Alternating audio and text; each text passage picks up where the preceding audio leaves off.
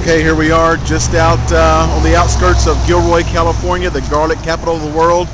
We're right here at Garlic World and you see that and we're going to go in and see what they've got.